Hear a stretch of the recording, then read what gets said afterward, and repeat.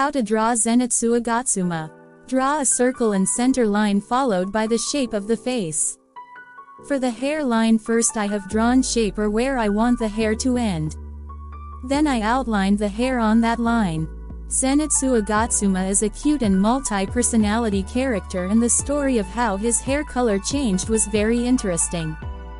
Trying not to give any spoilers loudly crying. I have used watercolors which I have instead of direct pencils. So, that I don't have to worry about shading. After color dried I have used pencils on top for better shading.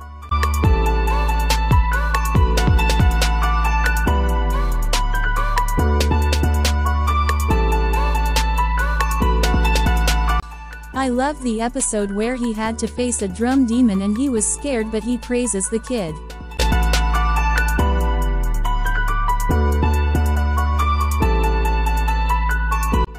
Finally black pencil for outlining.